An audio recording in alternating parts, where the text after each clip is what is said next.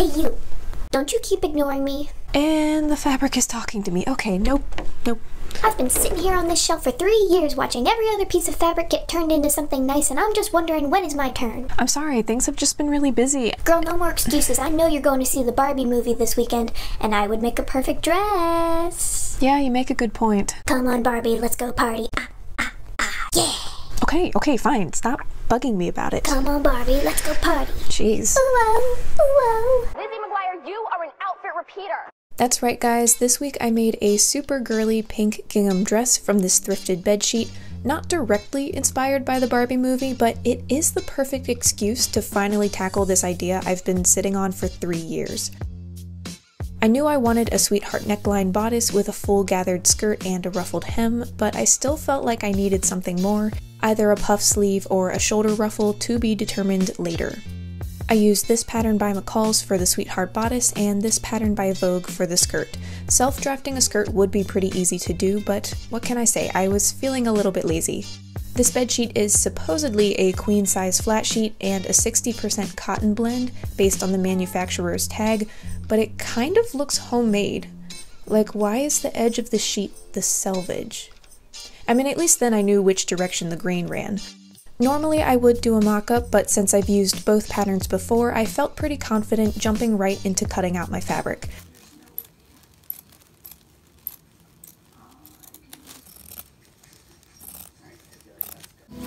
Oh wait, what am I doing?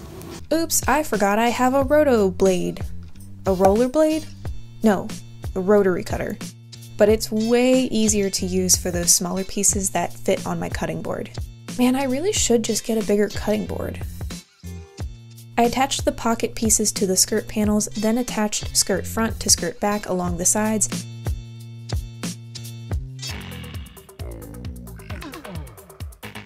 and was about to start putting together the bodice.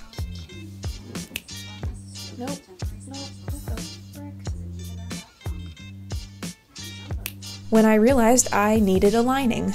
Thankfully, I had a huge fitted sheet in my stash, fiber contents unknown, but it is very soft and felt like it would be a comfortable lining.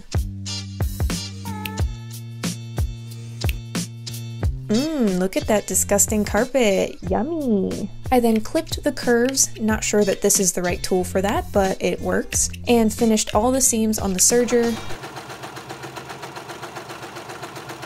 and then pressed them flat.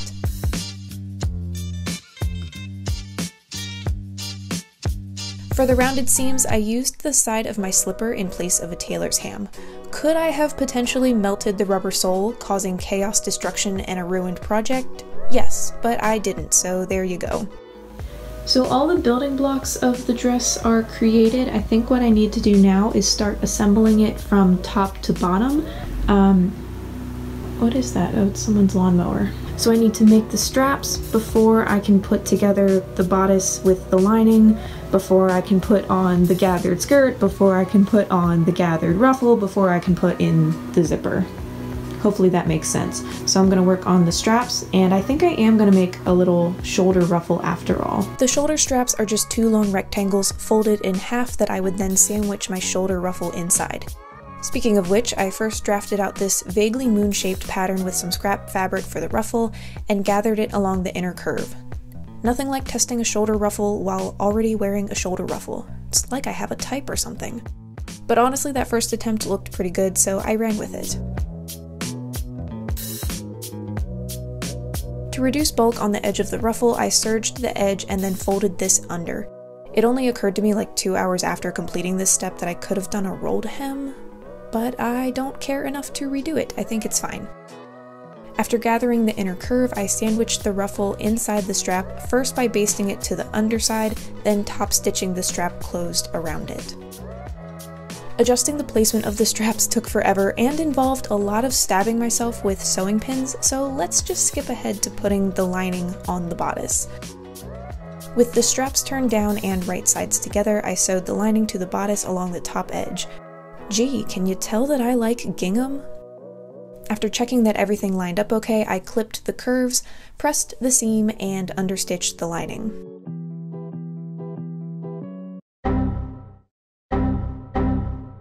With the bodice complete, it was then time to gather and attach the skirt.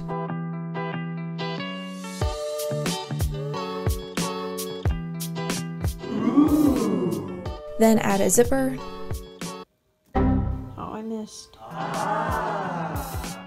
It's not an invisible zipper, but I kind of treated it like one with how I installed it, and I think it turned out really clean.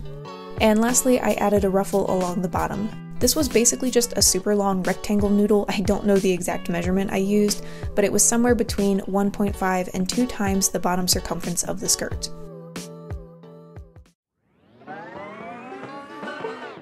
I like to be educated, but I'm so frustrated. Hello to my loneliness. I guess that ignorance is bliss. Take me back to before the new. Rewind, take it out of cue. Innocence can be a young man's game.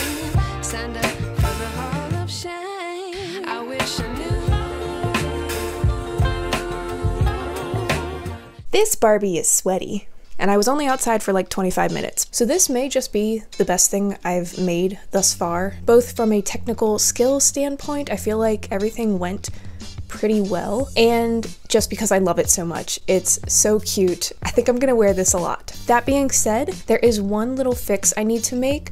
I don't know if you can notice, but there is a little bit of gapping here in the bodice on both sides, like under my arms, which is weird because when I was trying this on as I went through the process, like I do continual fittings throughout, didn't notice any issues. But now that everything is put together and everything is all said and done, I am having a little bit of gapping. I think I can just add like a little dart here. That should probably take care of that. And then just if I were to do this again, these are not issues that I have with the dress that I would worry about fixing, but if I were to do this again, I would make the bodice just a little bit longer so that it comes all the way down to my natural waist. It's just a little bit above my natural waist, which honestly gives me the illusion of having longer legs, so it's not really that big of a deal. And then I would also make the skirt a little bit fuller, more like a circle skirt, because when you do a gathered skirt from the pattern that I used, it's kind of just rectangles well, more like trapezoids. It's kind of just trapezoids, and so you don't really get that full swooshiness that you would get with more of a circle skirt, but that doesn't affect how much I love this. I am for sure wearing this out when we go see the movie later tonight. Are you guys gonna go see the Barbie movie? Are you guys gonna go see Oppenheimer? Are you gonna pull a Barbenheimer? These are very important questions. We would do the Barbenheimer if we had time. I think we're gonna have to go see Oppenheimer next weekend. Okay, well that's all I got for you. Thank you guys so much for hanging out with me this week, and I'll see you next time. Bye!